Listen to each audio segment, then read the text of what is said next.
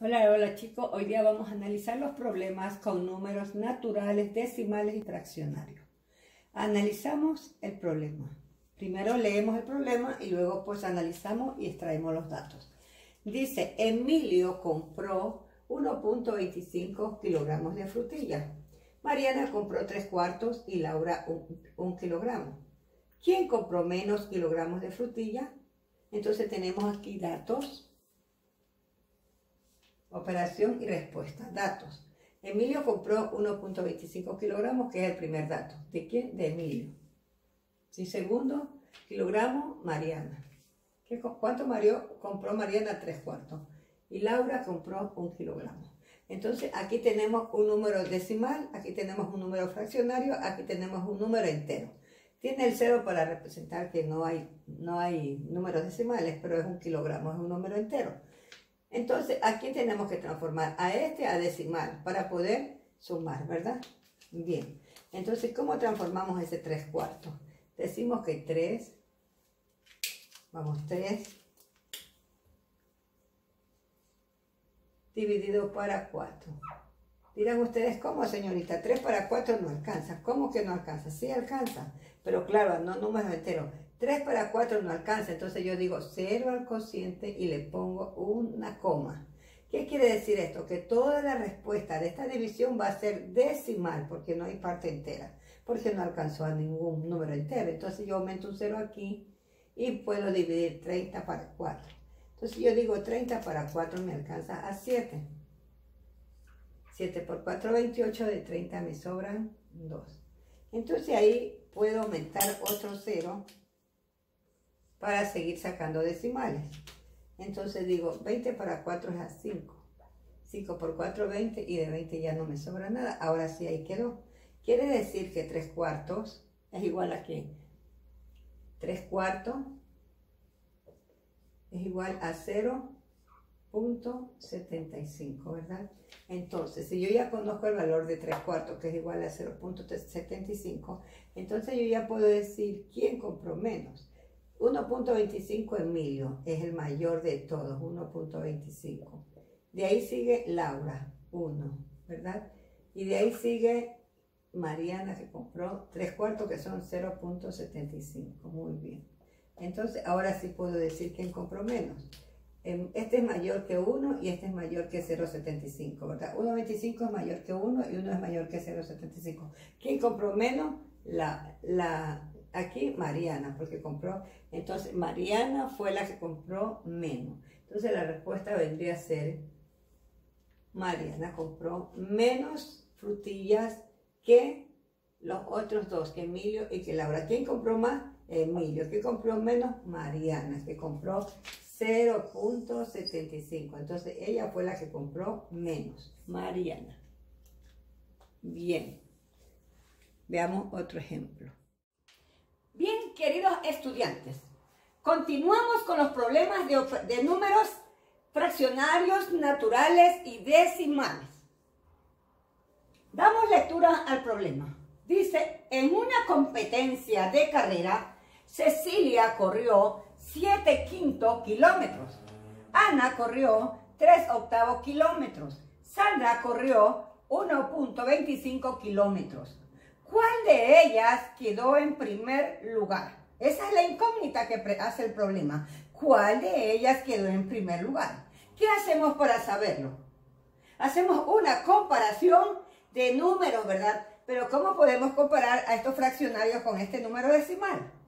Debemos, primer paso, leer el problema, ya lo leímos, interpretar los datos. ¿Cuáles son los datos? Cecilia corrió 7 quintos, Ana 3 octavos y Sandra 1.25, que casi están aquí, ¿verdad? Muy bien, pero hay una incógnita. ¿Cuál de ellas quedó en primer lugar? Para darle la respuesta a esta incógnita del problema, debemos, debemos de analizar el problema junto con sus datos. Tenemos que ha corrido, ¿verdad? Pero nos habla en números fraccionarios y en números decimales. Entonces no podemos sumar fraccionarios con números decimales si no los convertimos o todos a fraccionarios o todos a decimales. Pero lo más fácil es convertir los números fraccionarios a decimales. Y vamos a empezar. Primero, ¿cómo se resuelve? Primero leer el problema y analizarlo. Segundo, extraer los datos. Tercero, plantear la operación. Cuarto, plantear la operación. La operación es transformar los números eh, fraccionarios a decimales. Muy bien. Iniciamos. Vamos con Cecilia.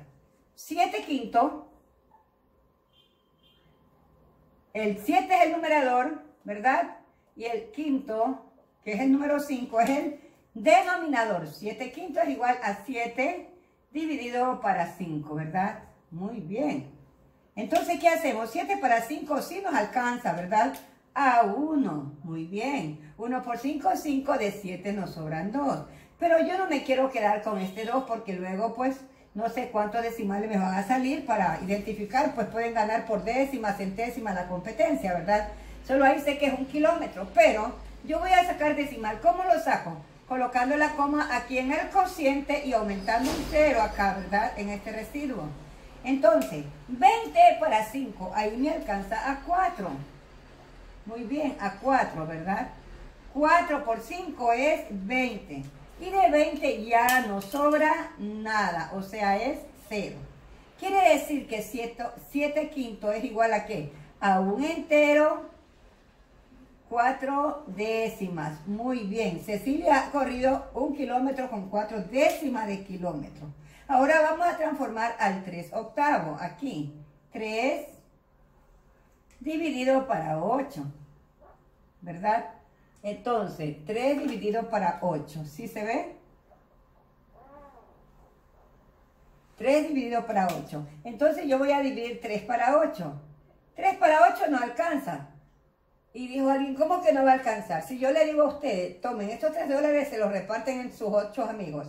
Y decir, pero no alcanza. ¿Pero a quién les dijo que le dé de dólar? No, de a centavos, pero alcanza. Así también es aquí. 3 para 8 sí alcanza, pero no a números enteros, pero sí a decimales. Entonces quiere decir que 3 para 8 no alcanza. Pero yo voy a poner un 0 al cociente porque quiere decir que no hay enteros y una coma para saber que toda la respuesta que me va a salir aquí son decimales. ¿Y qué hago? Aumento un 0 al cociente y pongo un 0 aquí al lado del 30. Y digo, 30 dividido para 8. Eh, ¿Qué número es 3? ¿A cómo alcanza? A 8 por 3, ¿verdad? Muy bien. A 3. 3 por 8 es... Vamos, 3 por 8 es 24, ¿verdad? De 30, ¿cuánto sobra? 6. Entonces sigo aumentando un 0, ¿verdad? Para seguir sacando decimal, pero ya no voy a sacar aquí más decimales. No voy a poner más 0 ni más coma, solamente aumento lo que alcance. 60 para 8. 8 por 8 es 64, nos pasamos. 7 por 8 es 56. ¿Verdad? 7 por 8 es 56. Y de 60, ¿cuántos sobran? Sobran 56. Para llegar a 60 sobran 4. Sigo sacando decimales, sigo aumentando 0. Y digo 40. 40 para 8 me alcanza 5. 5 por 8, 40 y de 40. Ahora sí ya no me sobra nada. Quiere decir que 3 octavos es igual a 0, lo podemos dejar en un redondeo. Sabemos que cuando pasa de 5 al 7 lo transformamos en 8 y podemos decir 0.38, ¿verdad? Porque lo redondeamos a 38 para solamente sacar dos decimales, ¿sí? Entonces, a este lo redondeamos y este se transforma en 8, ¿verdad? Porque redondeamos porque pasa, porque de 5 hacia arriba podemos aumentar al inmediato superior al número que está antes de él, ¿verdad? Que es el 7. Al 7 lo aumentamos en 8 y eliminamos al 5. Entonces aquí tenemos los números. Nosotros podemos comparar, ¿verdad? ¿Qué vamos a comparar? 1.4 eh, eh, que corrió Cecilia, ¿quién es mayor de todos? 1.4. Quiere decir que Cecilia es la que más corrió. Entonces ponemos aquí a 1.4. Muy bien. ¿Quién le sigue? Ah, Sandra, 1.25. ¿Quién le sigue después? Ana con 0.38.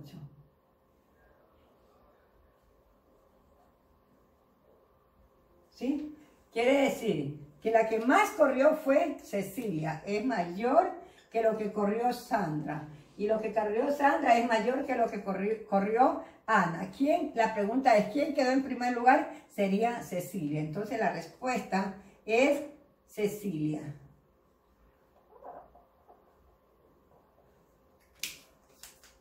Cecilia quedó en primer lugar. Cecilia quedó en primer lugar.